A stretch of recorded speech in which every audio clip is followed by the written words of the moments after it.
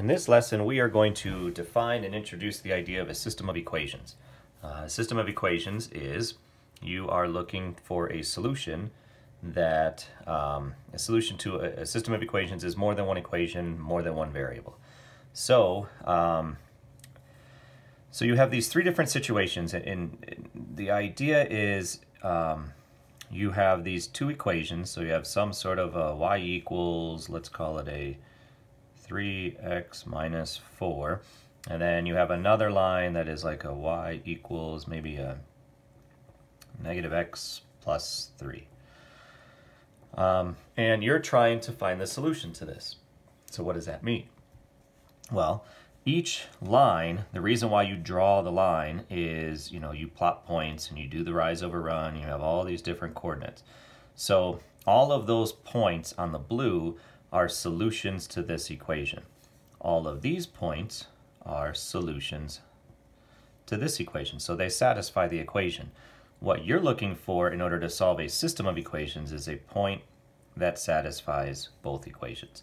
And that is where they cross. So that's your goal. Uh, but unfortunately, not all lines cross, not all graphs cross, because at some point we're not just going to be graphing lines, you're going to be graphing all sorts of different things. So but you're still looking for that one point because that one point is going to satisfy um, both equations. And depending upon the types of graphs, you may have more than one solution. They may be a parabola connecting with a line, so you may have two solutions. So there's a bunch of different ways to do this. We're going to show there's a graphical way to do this. There's an, uh, two different algebraic ways to do this. There's even a, a matrix calculator way of doing this. So um, we'll have at least four different ways of doing it. But however, we'll have three different scenarios as we go, at least with the linears, is the lines can cross. The lines can be parallel, so then they don't have a share a common point. So then there's a no solution to that. Um, and then the lines could be on top of one another. That means you have infinite solutions. So if they're parallel, you have no solution. If they are the same, then you have infinitely many solutions and then they otherwise the majority of the time they just cross. So you got one point. Okay, so they intersect. So there's also some fancy language that goes with this. That anytime you have a solution to it, which are these two, anytime you have something that is a, there's a solution to it, it's known as consistent. So your equations are consistent.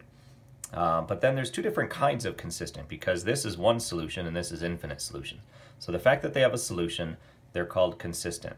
But the difference between one solution and infinite solutions is the next part.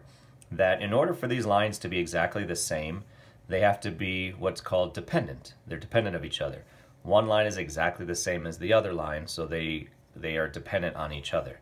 So if you have infinite solutions, it's going to be known as dependent. So then if infinite solutions are dependent, then one solution is independent. So having one solution means you have a solution, which makes it consistent, and you have the lines aren't dependent upon each other whatsoever, so it's called consistent and independent. If you have a solution, but you have infinite many solutions, consistent means you have a solution, dependent means you have infinitely many solutions because they are perfect, um, they're identical to each other. And then, um, if you don't have a solution, such as this, then you're inconsistent. So consistent means solution, so inconsistent is going to mean no solution. So no solution is inconsistent. And then if they're inconsistent, they're definitely independent of each other. All right. So, um, and this just kind of defines some of the other pieces to it, um, but basically that kind of summarizes it. So that's a little bit of an introduction to system of equations. Um, and then we're going to do the algebra be, uh, behind it on the next couple videos. We're going to talk about, um, we're just going to graph them, and we're going to use substitution, we're going to use elimination, and then eventually we're going to use matrices to solve them.